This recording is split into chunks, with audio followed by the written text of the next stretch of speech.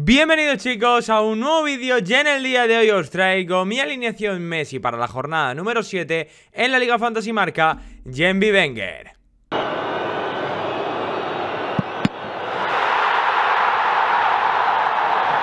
Tras en el día de ayer analizar toda la jornada número 7, que si no habéis visto el vídeo os lo dejo por aquí arriba. Hoy os traigo, como cada jueves, mis apuestas, los jugadores que yo creo que mejor van a rendir en esta jornada post parón por selecciones. Además, unos futbolistas que considero que van a jugar seguro y tras un parón por selecciones, muchos jugadores internacionales que podrían rotar con un calendario en el mes de octubre cargadísimo para todos los equipos. Eh, lo importante es la fiabilidad que uno tenga en que su futbolista va a ser titular. Por lo tanto, en el día de hoy os traigo recomendaciones que confío plenamente. Chicos, para que a mí me vaya bien, para que a vosotros os vaya bien, porque espero que coincidáis con mis apuestas. Deja tu like, vamos a llegar mínimo a 500 likes, aunque casi todas las alineaciones Messi están llegando a los 1000. En vuestras manos queda, chicos. En vuestras manos queda llegar de nuevo a mil likes. Y, por supuesto, te animo a que te suscribas para no perderte eh, ningún contenido fantasy de este canal. Que más del 50% que ven los vídeos no está suscrito. Así que suscríbete, que no te cuesta nada. Y además te animo a que me sigas por redes sociales para que no te pierdas ninguna última hora de la Liga Española, ya que lo comento absolutamente todo. En TikTok, que estamos haciendo contenido diario. Y sígueme también por la plataforma morada, donde en el día de hoy, de 7 a 9, estoy haciendo directo la hora del clausulazo para cubrir todas vuestras últimas dudas de fichajes y donde vamos a hacer los últimos clausulazos para planificar nuestros equipos de cara a la jornada número 7. Hoy, mañana, doble directo, plataforma morada. En fin, no te lo puedes perder. Y, chicos, si tenéis a vuestro primo el Prime solito, pues oye, puedes dejármelo en la plataforma morada y así me apoyas económicamente. Vamos ahora con todas mis recomendaciones para la jornada número 7. Como siempre empezamos por Vivenger y en este caso vamos a repasar cómo nos fue la jornada número 6 antes de irnos al parón por selecciones. Una jornada número 6 que personalmente pues estoy muy contento porque triunfamos con Lewandowski, Borja Iglesias, Pedri, es verdad que el capitán volvimos a fallar, pero bueno, Berenguer, gran acierto de Ledesma. Oye, pues muy contento porque nos fuimos de una manera muy positiva al parón por selecciones. Y tras descansar en el parón por selecciones, vamos a volver incluso más fuertes, con esta alineación Messi, con una liga, la Liga Fantasy Carrasco, que tenéis el link en la descripción donde podéis entrar. Es un modo fantástico donde tenemos hasta 300 millones para gastar y formar nuestro equipo. En este caso vamos como siempre con una 3-4-3, ya sabéis que me gusta mucho el hecho del 3-4-3. Esta vez no seleccionamos, eh, digamos, entrenador porque el presupuesto se ha gastado en otras líneas y donde asumo algunos riesgos que ahora os comento. Eh, en primer lugar, Mamardasville en portería. Partido español-Valencia. Creo que va a ser va a haber goles y donde creo que sobre todo el señor Van va a tener mucho trabajo. Creo que va a puntuar bien en mi Wenger y oye, eso es lo que buscamos siempre en mi Wenger, que el portero tenga actividad. Cuando ya sabéis que nuestra liga tiene media de as y score, ¿de acuerdo? Luego línea de tres defensas con Fran García, Pedraza y Marcos Alonso. Aquí viene pues la gran apuesta del día de hoy, que es Marcos Alonso. Yo considero que este fin de semana no va a ser Valde titular y lo va a ser Marcos Alonso. Sé que es una apuesta muy personal, sé que Valde está en un gran estado de forma, que podría jugar él en Liga y después dejarle la Champions a Marcos Alonso. Me sale decir Marcos Alonso. Sigo confiando en la teoría de línea de tres centrales del Barça este fin de semana ante el Mallorca y Marcos Alonso carrilero izquierdo. Mm, voy a morir con mi, con mi apuesta. Y luego, pues completamos con dos laterales izquierdos más: Pedraza que juega ante el Cádiz y Fran García que juega en casa ante el Elche. Creo que ambos tienen un muy buen partido para hacer un, un gran partido de cara a la portería contraria. Y bueno, creo que también a nivel defensivo van a ser muy cumplidores. A nivel del centro del campo, vamos con línea de 4 con Alex Berenguer, uno de los jugadores más en forma de la Liga Española. Capitán, Trejo. Vamos con esta semana una confianza bastante fuerte en el Rayo Vallecano. Por lo tanto, nuestro argentino que el año pasado nos dio tantas alegrías, pues oye, ya era hora de que lo pusiéramos en nuestra alineación Messi y como capitán, claro que sí. Luego completamos con Parejo, que mm, vuelvo a las mismas, partido en casa del Cádiz, del Villarreal, debemos de poner a jugadores del Villarreal. Y por último, Gross, que es el jugador del centro del campo, con el caos que vamos a tener con las posibles rotaciones de Ancelotti, Cross es el más fijo en, el, en la medular del Real Madrid. Y luego arriba vamos con Nico Williams, si no es el top 1 porque es Berenguer, top 3 quizás, jugadores más en forma ahora mismo de la Liga Española. Y completamos con Lewandowski y con Benzema. Eh, le pongo ariete a Benzema, creo que toda esta campaña que se ha montado con el regreso de Benzema de Osasuna, creo que va a ser, bueno, digno de una vuelta épica del anterior, del actual, hay que decir así, del actual Rey Fantasy. Y que, oye, creo que Karim Benzema va a hacer una gran, una gran puntuación, por eso le pongo como ariete. Y aunque Lewandowski, el Barça me genera algunas dudas, Lewandowski, el Lewandowski, el presupuesto me lo permite, pues tenemos que poner a las dos bestias del Fantasy. Acepto recomendaciones en comentarios, pero creo que esta alineación es muy juguetona. Pasamos a la Liga Fantasy Marca y comenzamos con el repaso a las ligas fantásticas. Ya sabéis que tenemos tres. La primera de ellas, pues la verdad que no nos fuimos de la mejor manera posible al parón. 55 puntos. Nastasi lesionado el calentamiento. Kangin Lee flojito. Moy Gómez fatal. Ansu Fati apuesta fallada. Es verdad que sí, Frankie de Jong, Nico Williams, Cubo, Raskovic, pero Osasuna nos falló, el Mallorca no cumplió tanto como esperábamos. En fin, podía habernos ido mejor. La verdad que 55 puntos no es una gran puntuación para irse contento. Por eso os traigo esta alineación Messi donde considero que sí que vamos a salir contentos de esta jornada número 7. A ver, lo primero de todo, el portero más barato esta semana en la Liga Fantástica es Messi. Por lo tanto, boom, pa' dentro. Es lo que hay, pum, pa' dentro. Ya sabéis que no me gusta gastar demasiado los porteros en la Liga Fantástica. Eh, es una manía mía, pero es lo que hay.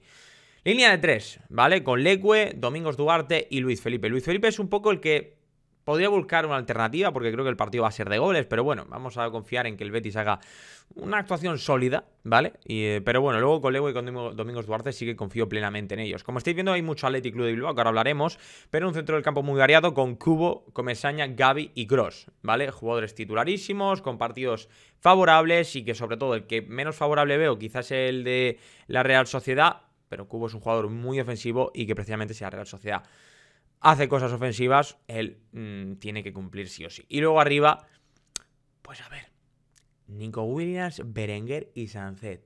Toma. Toma. Es verdad que podía haber quitado quizá a Berenguer y haber puesto a, Iñaki Williams y con ese dinero pues a lo mejor haber gastado más en otra posición. De hecho, no lo descarto, cambiar a Luis Felipe o a Masip, precisamente haciendo ese cambio. Pero hombre, es que esta delantera con este Athletic Club de Bilbao, primer partido de la jornada ante la Almería, a mí me parece que está muy bien. Antes de pasar con la segunda Liga Fantástica, os quería mostrar el ranking global de la Liga Fantástica porque estoy en el puesto número 98. Eh, podría estar más arriba, pero como hay tantas mm, cuentas que todo el rato crean las mismas alineaciones, pues todo el mundo tiene muchas puntuaciones y al final en vez de hacer un top 100, esto parece un top 30, la verdad, las cosas como son, pero, pero bueno, ya cada uno que haga, que haga lo que quiera. Qué poquito os divertís con una cuenta haciendo 6 alineaciones o 7 o 9, incluso 9 alineaciones iguales, no, no lo entiendo personalmente. Bueno, tengo una cuenta dentro del top 100 con 437 puntos que a continuación os voy a enseñar pues cómo me fue la jornada 6 y cómo salgo en esta. No me fue nada mal la jornada número 6. Es verdad que Anastasis duele, pero es que acertamos apostando por Robert Lewandowski y que luego jugadores parche como Fresneda, eh, Pacheco o incluso Alex Baena es que salieron tremendamente bien. Es que, eh, de verdad, fue un 10 eh, esta alineación, al menos de, vale, me gasto todo en Lewandowski, la gente estás loco. Es que Nastasic, si llega a haber jugado, que, que todo hubiera apuntado a que sí, porque era titular, es que hubiera hecho entre 5 a 8 puntos. Es que hubiera sido maravilla y hubiéramos estado más por encima en el, top 100. Fue una, una, puntuación muy buena, con una gran planificación de millones, teniendo en cuenta que pusimos a Lewandowski. La verdad que acabé muy contento. Y siguiendo un poquito con la estela Robert Lewandowski, pues a ver, yo en la Liga Fantástica siempre os traigo una alternativa para poner un gran bicho en nuestras alineaciones. En este caso voy con Karim Benzema. Voy a repetir un poquito pues el tema de las apuestas, ¿de acuerdo? Eh, a ver, lo de Masip lo seguimos exactamente igual. Legue Pacheco, Marcos Alonso. De verdad, creo que va a jugar por delante de, de Valde. Asumo mucho riesgo, pero oye, eh, poner a Benzema eh, tienes que asumir ciertos riesgos, como por ejemplo eh, que Alex Baena y Almeida continúen siendo titulares importantes. Vienen en buena dinámica, yo creo que tanto Gatuso como Emery los, va, los van a alinear como titulares, pues oye, yo los pongo en mi equipo. Comesaña y Cross, como grandes jugadores para esta jornada, me parece que son top para esta alineación. Luego Nico Williams, que deciros, y luego Cavani. Es verdad que lo de Cavani me hubiera a lo mejor gustado haber puesto a lo mejor un, un Danjuma, que está un milloncete un poquito más caro y tal, pero Cavani, ¿de acuerdo? Partido con goles que digo del español Valencia. Pues hombre, Almeida y Cavani tendrán que cumplir. Me parece una gran alineación para tener a Karim Benzema, que creo que va a regresar de gran manera a la Liga Española.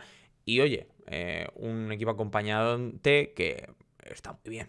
Y finalizando con las ligas fantásticas, pues tenemos que ir a mi tercera liga fantástica y a ver, 68 puntos tampoco nada mal. Otra vez que nos comimos Anastasis, pero Monchu, Gonzalo Plata, Les Baena, Javi Sánchez, el Valladolid cumplió pese a perder 0-1. La verdad. Luego, eh, sacada con, Borja Iglesias. Eh, el anterior, eh, qué bien Lewandowski. Bueno, pues aquí Borja Iglesias. Muy contento. 68 puntazos. Muy bien. Y para continuar con la buena racha, pues eh, espero que esta alineación Messi también cumpla. Aquí como alternativas os traigo a Value, ¿vale? Considero que el Rayo Vallecano a nivel defensivo lo puede hacer muy bien. Meto a Samu Chukwueze, que lo veo como titular. Meto también a Trejo, que me parece uno de los mejores jugadores para esta semana número 7. Y Danjuma y Enesunal. Nos sentimos juguetones. Nos sentimos juguetones. Creo que Danjuma va a ser titular este fin de semana ante el Cádiz y creo que Enesunal no tiene problemas para jugar ante, ante el Valladolid. Que sí, que no tiene mucho sentido enfrentar a Masip y a Enesunal. Totalmente de acuerdo. Pero como os digo, no me da la gana gastarme más presupuesto en el portero. No va conmigo. Dejamos ya a un lado las ligas fantásticas y pasamos a las ligas públicas. El modo donde yo pues en estos momentos, como ya os mostré en el parón por selecciones, la carrasconeta ya está aquí y estoy top número 4. Si no visteis el vídeo os lo dejo por aquí arriba para ver todo un poquito en profundidad, explicaros muchas cosas, pero estoy top 4 y os voy a enseñar con qué alineación salgo esta semana. En principio voy con esto, pero eh, la posibilidad de fichar a Catena en el mercado, la posibilidad también de que Vesga sea titular y lo he clausurado, hacen que jugadores como Chuamení, que tienen mucho riesgo que no sean titulares este fin de semana o que al menos a mí me generan mucho miedo, salgan del equipo, ¿vale? Así que la posibilidad Vesga o la posibilidad Catena están ahí presentes y con mucha probabilidad entren para sustituir a eh, Me parece un equipazo, me parece que apostar por el Atlético de a nivel defensivo es un acierto. La delantera es una fantasía, Lewandowski, Vinicius Benzema, pura fantasía.